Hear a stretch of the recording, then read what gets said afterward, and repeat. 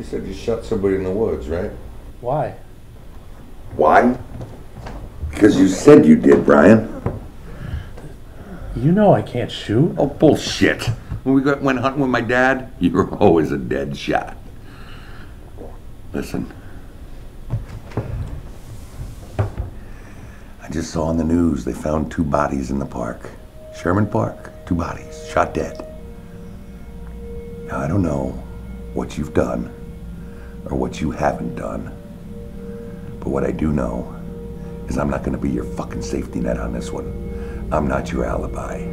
You're on your fucking own.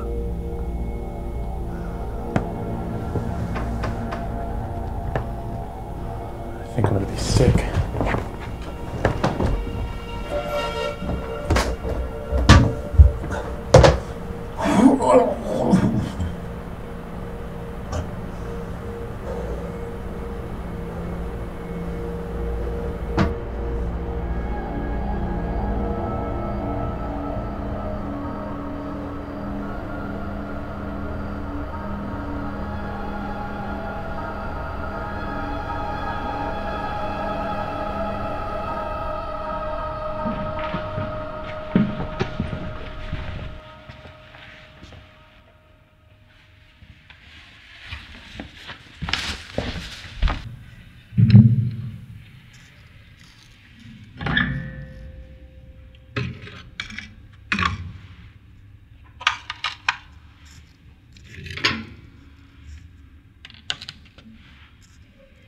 Mm-hmm.